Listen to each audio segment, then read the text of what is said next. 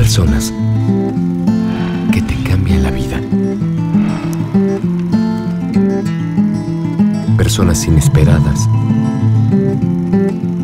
capaces de convertir lo ordinario en extraordinario.